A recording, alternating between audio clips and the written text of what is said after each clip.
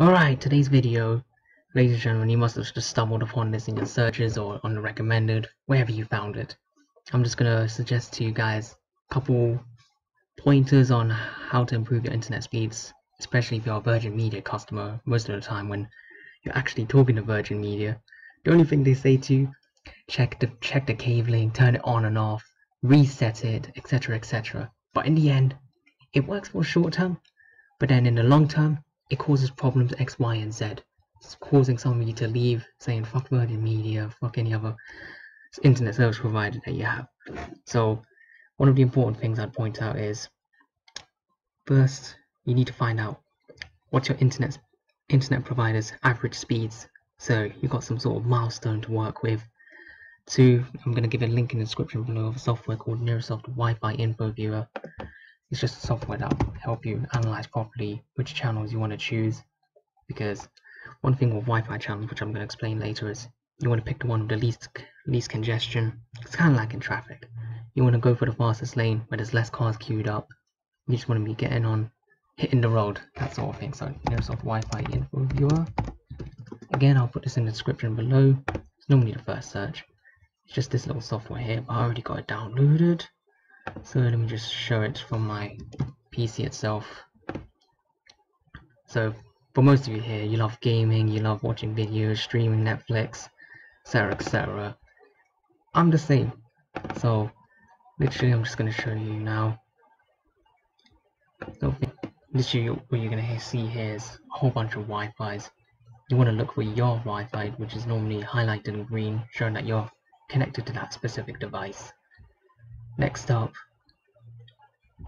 you're gonna right click, click next display mode. One more thing before I go into the section. 5.2 is the 5 gigahertz network and 2.4 is the 2 gigahertz network. Most of you on the 5 gigahertz network, so I'm not really to go into detail about 2.4.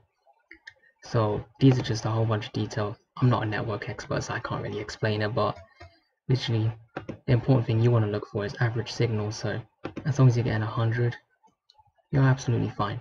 This just tells you interference, the quality of the signal, so whether it's strong or weak, especially if you're next if you're close to your router or you're very far from your router.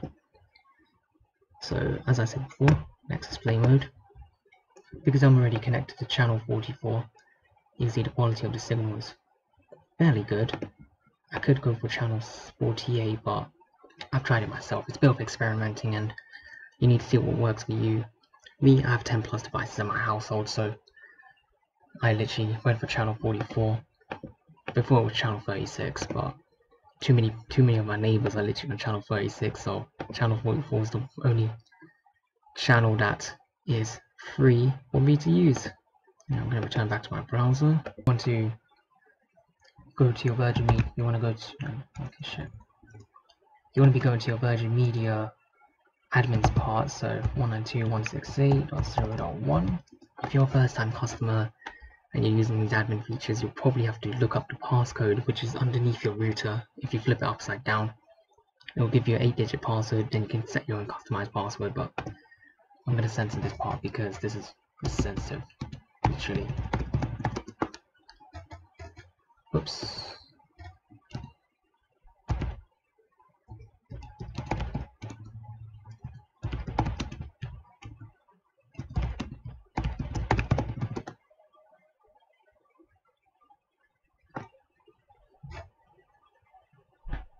Okay, once you've actually logged into your thing, routers management site, you want to go straight to advanced setting. Well, for Virgin Media customers, these instructions are specific for you.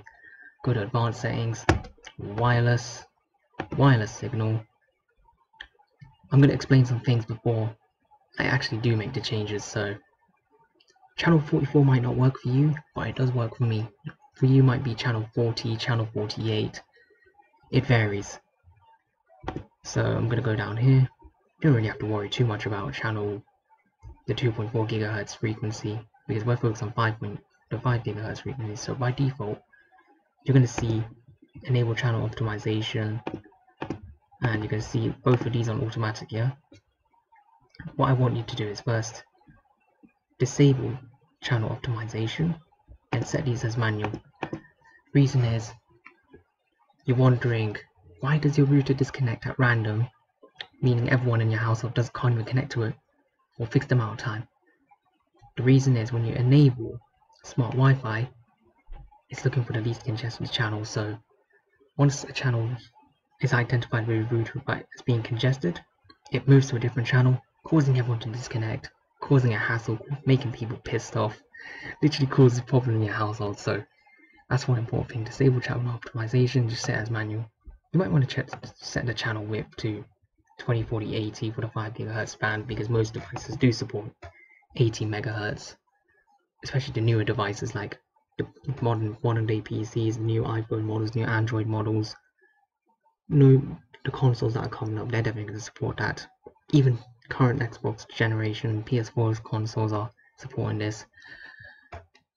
Anyway, other than other than that, what you want to do is once you've looked at the Wi-Fi info viewer and found which channel is suitable for you, click which channel from here from the drop down menu. It will give you a warning, for example, like this. Say if I pick channel 60, it's going to give it's going to tell you this is a DFS channel. We do not want a DFS channel, which I don't even know what the hell that means. So I'm going to keep at channel 44. Because my internet's sorted, I'm just going to run a speed test.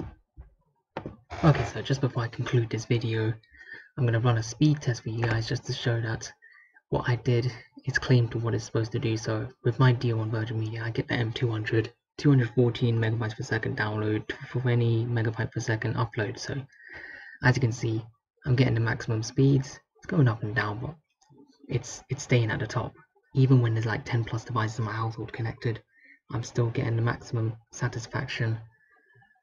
Even though Virgin Media sometimes fuck around, most of us overall want the best internet speeds possible, especially when we're gaming, talking with our friends, watching Netflix, and because most of us are in this bloody lockdown, we we want to have ourselves a good time and stress free even though we're not allowed to we can't even go out or we just want to be safe. You know you don't we don't want to be catching this coronavirus whether people say it's over or not.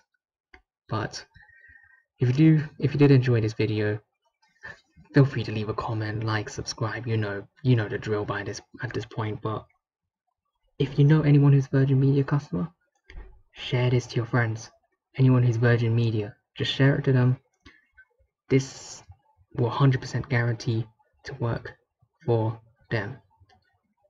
I approve it. If you think you got other solutions you want to suggest to me, leave it in the comment sections. I actually want to see what you guys are thinking. Until then, peace out. That son of a bitch.